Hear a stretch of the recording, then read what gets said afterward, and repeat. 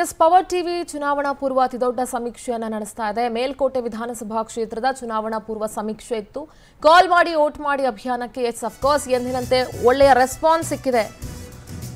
ಮಧ್ಯಾಹ್ನ ಒಂದು ಗಂಟೆಯಿಂದ ಮೂರು ಮೂವತ್ತರವರೆಗೂ ಕೂಡ ಮೇಲ್ಕೋಟೆ ವಿಧಾನಸಭಾ ಕ್ಷೇತ್ರದ ಮತದಾರರಿಗೆ ಕಾಲ್ ಮಾಡಿ, ವೋಟ್ ಮಾಡೋದಕ್ಕೆ ಅವಕಾಶ ಇತ್ತು. ಈಗ ಆಲ್ರೆಡಿ ಸಾವಿರಾರು ಜನ ಕಾಲ್ ಮಾಡಿ, ವೋಟ್ ಮಾಡಿ ನಿಮ್ಮ ಆಯ್ಕೆಯನ್ನು ತಿಳಿಸಿದ್ದೀರಿ. ಕಾಲ್ ಮಾಡಿದಂತಹ ಎಲ್ರಿಗೂ ಧನ್ಯವಾದಗಳು. ಮೂರು ಮೂವತ್ತರವರೆಗೂ ಕೂಡ ಅವಕಾಶ ಇದೆ. ಕೆಲವೇ ನಿಮಿಷಗಳಲ್ಲಿ ಮೇಲುಕೋಟೆ ವಿಧಾನಸಭಾ ಕ್ಷೇತ್ರದ ವೋಟಿಂಗ್ ಲೈನ್ಸ್ ಕ್ಲೋಸ್ ಆಗುತ್ತೆ.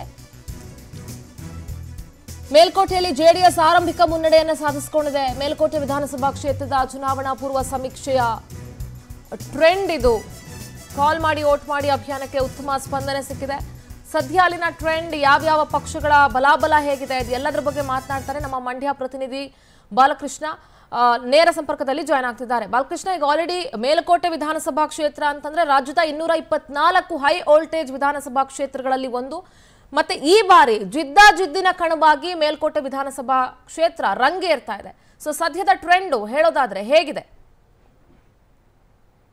ಸಿಂಧೂರ ಏನಂದ್ರೆ ಇಲ್ಲಿವರೆಗೂ ಕೂಡ ಮೇಲುಕೋಟೆ ವಿಧಾನಸಭಾ ಕ್ಷೇತ್ರದಲ್ಲಿ ಎಲ್ಲ ಶಾಂತಿಯುತವಾಗಿ ನಡೀತಾ ಇತ್ತು. ಆದ್ರೆ ಈ ಬಾರಿ ಒಂದು ಹೈ ವೋಲ್ಟೇಜ್ ಕ್ಷೇತ್ರ ಅಂತಾನೆ ಹೇಳ್ಬೋದು. ಯಾಕಂದ್ರೆ ಹಿಂದೆಯಿಂದನೂ ಕೂಡ ಜೆಡಿಎಸ್ ಮತ್ತೆ ರೈತ ಸಂಘ ಎರಡರ ನಡುವೆ ಮಾತ್ರ ಈ ಒಂದು ಚುನಾವಣೆ ನಡೀತಾ ಇದ್ದು ಅಂದ್ರೆ ಯಾಕೆಂದ್ರೆ ಇವು ಜಿದ್ದಾಜಿದ್ದಿನ ಫೈಟ್ ಕೂಡ ಜೆಡಿಎಸ್ ಮತ್ತೆ ರೈತ ಸಂಘದ ನಡುವೆ ಇದ್ದಂಥದ್ದು.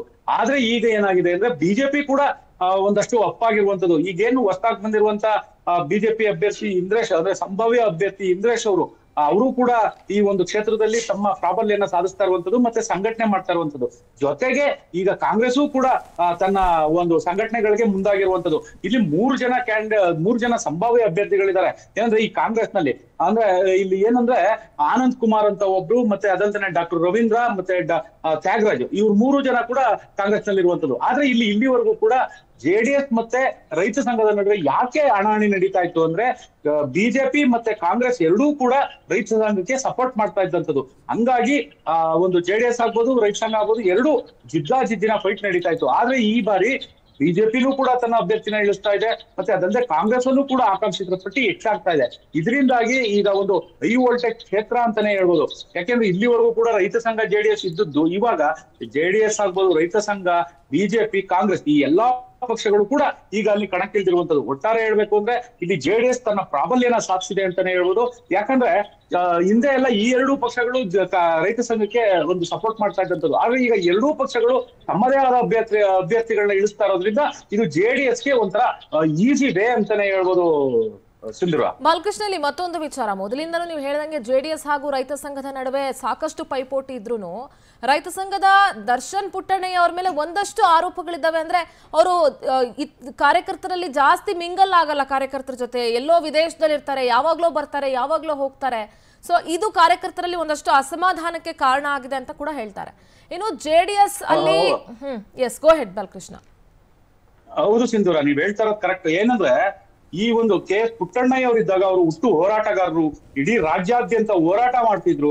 ಯಾವುದೇ ರೈತರ ಒಂದು ಸಂಕಷ್ಟ ಅಂದ್ರೆ ಪುಟ್ಟಣ್ಣಯ್ಯ ಅವರು ಮಿಡಿತಾ ಇದ್ರು. ಅದರಿಂದಾಗಿ ಪುಟ್ಟಣ್ಣಯ್ಯ ಅವ್ರ ಜೊತೆ ಹಲವಾರು ಮಂದಿ ಅವ್ರ ಜೊತೆ ಇರ್ತಿದ್ರು. ಆದ್ರೆ ಅವರ ಮಗ, ಅವರ ನಿಧನಾನಂತರ ಅವರ ಮಗ ದರ್ಶನ್ ಪುಟ್ಟಣ್ಣಯ್ಯ, ಕಳೆದ ಬಾರಿ ಎಲೆಕ್ಷನ್ ಬಂದಿದ್ ಬಿಟ್ರೆ ಮತ್ತೆ ಇನ್ಯಾವತ್ತೂ ಕೂಡ ಕ್ಷೇತ್ರದ ಕಡೆ ಗಮನ ಹರಿಸಿಲ್ಲ, ಯಾವುದೇ ಒಂದು ರೈತರ ಸಂಕಷ್ಟಕ್ಕೆ ಬಂದು ಮಿಡಿಲಿಲ್ಲ. ಇವರು ಸೀದಾ ಹೋಗಿ ಅಮೆರಿಕಾದಲ್ಲಿ ಕುತ್ಕೊಂಡವರು ಈಗ ಎಲೆಕ್ಷನ್ ಹತ್ರ ಬರ್ತಾ ಇದ್ದಂಗೆ ಈಗ ಬಂದ್ರು ಮುಖ ತೋರಿಸಿದ್ರು. ಮತ್ತೆ ಅವ್ರ ಹೋರಾಟಗಳು ಎಲ್ಲೂ ಕಾಣಿಸ್ತಾ ಇಲ್ಲ.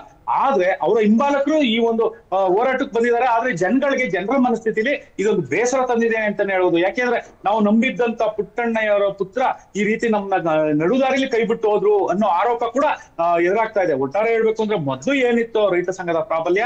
ಈಗ ಒಂದು ಒಂದು ತೊಂಬತ್ತು ಪರ್ಸೆಂಟ್ ಕುಸ್ತಿದೆ ಅಂತಾನೆ ಹೇಳ್ಬೋದು ಯಾಕೆಂದ್ರೆ ಒಬ್ಬ ನಾಯಕ ಕರೆಕ್ಟ್ ಆಗಿದ್ರಷ್ಟೇ ಈ ಒಂದು ಪಕ್ಷ ಸಂಘಟನೆ ಮಾಡಕ್ ಸಾಧ್ಯ ಸಿದ್ದರಾಮ್ ರೈಟ್ ಬಾಲಕೃಷ್ಣ. ಧನ್ಯವಾದ ತಮ್ಮೆಲ್ಲ ಮಾಹಿತಿಗಾಗಿ. ಒಟ್ಟಾರೆಯಾಗಿ ಮೇಲ್ಕೋಟೆ ವಿಧಾನಸಭಾ ಕ್ಷೇತ್ರ ಜೆಡಿಎಸ್ನ ಭದ್ರಕೋಟೆ ಅಂತ ಹೇಳೋಕಾದ್ರೂ ಕೂಡ ಈ ಬಾರಿ ಬಿಜೆಪಿ ಹಾಗೂ ಕಾಂಗ್ರೆಸ್ ಕೂಡ ಟಫ್ ಫೈಟ್ ಕೊಡೋದಕ್ಕೆ ನಿಂತಿರೋದ್ರಿಂದ ಏನಾಗುತ್ತೆ ರಿಸಲ್ಟ್ಸ್ ನೋಡೋಣ. ನೋಡ್ತಾರೆ ಪವರ್ ಟಿವಿ ಇದು ನಿಮ್ಮ ಶಕ್ತಿ.